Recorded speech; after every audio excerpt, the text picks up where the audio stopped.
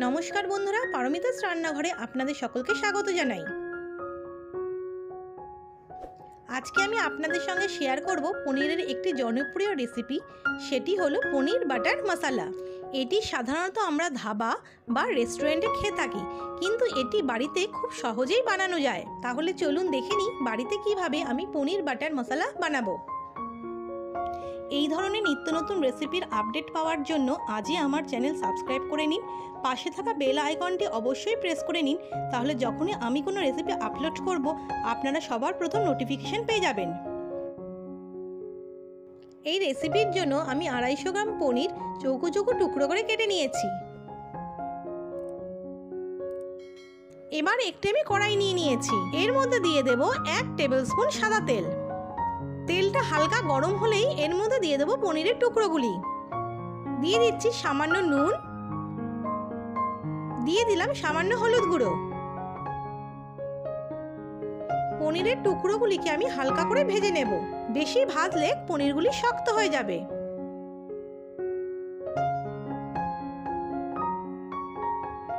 পনিরগুলি হালকা করে ভাজা হয়ে গেছে, এবার আমি তুলে নিচ্ছি।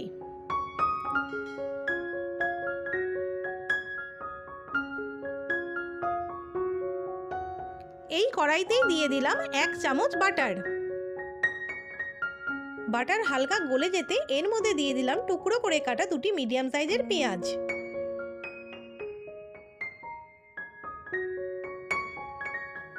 এবার এর মধ্যে দিয়ে দিলাম ছোট করে কাটা আদা এবং চার পাঁচ কোয়া রসুন। একটু নাড়াচাড়া করে এর মধ্যে দিয়ে দেব একটি মিডিয়াম সাইজের টমেটো টুকরো। দিয়ে দিলাম সাত আটটি কাজু বাদাম। একটু নাড়াচাড়া করে নিয়ে আমি পাঁচ মিনিটের জন্য চাপা দিয়ে দেব। এই সময় আমাদের গ্যাসের ফ্লেমটা লো টু মিডিয়াম রাখতে হবে। ফিরে এলাম পাঁচ মিনিট পর, এখন টমেটো বেশ নরম হয়ে গেছে। এবার এই মশলাটাকে ঠান্ডা করার জন্য আমি অন্য একটি পাত্রে তুলে নিচ্ছি।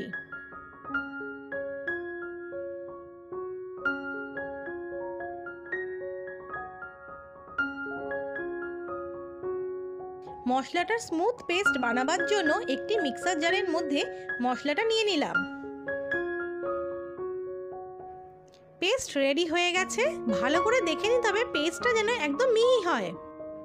এবার কড়াইতে আমি দিয়ে দিলাম এক চামচ বাটার বাটার হালকা গলে যেতে এর মধ্যে দিয়ে দিচ্ছি দুটি এলাচ। দিচ্ছি কয়েকটি ছোট ছোট টুকরো করা দারচিনি এবং তিন চারটি লবঙ্গ।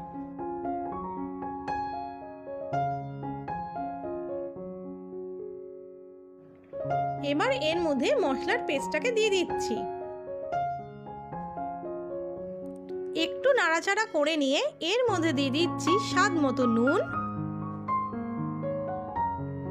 দেব হাফ টিস্পুন হলুদ গুঁড়ো।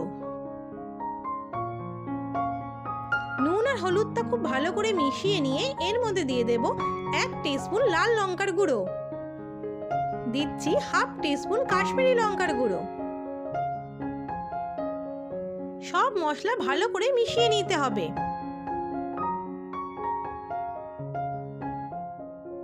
এর মধ্যে দিয়ে দিচ্ছি দুই টেবিল চামচ টক দই। টক দই ভালো করে মিশিয়ে নিয়ে আরও পাঁচ মিনিট মশলাটা কন্টিনিউয়াস নাড়তে থাকব। এই সময় গ্যাসের ফ্লেমটা একদম কমিয়ে রাখতে হবে, না হলে মশলাটা পুড়ে যেতে পারে।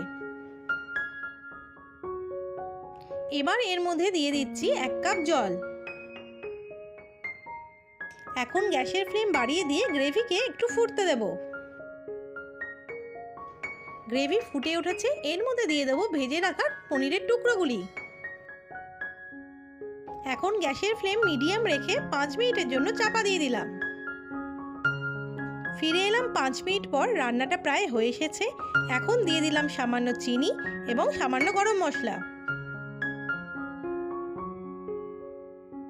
এবার গ্যাসের ফ্লেম বাড়িয়ে দিয়ে গ্রেভি একটু ফুটিয়ে নামিয়ে নেব।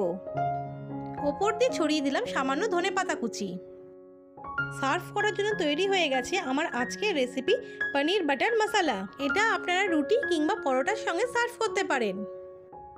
আপনাদের কেমন লাগল আমার আজকের রেসিপি কমেন্ট সেকশনে কমেন্ট করে জানান। ভালো লাগলে একটা লাইক এবং বন্ধুদের সঙ্গে অবশ্যই শেয়ার করুন।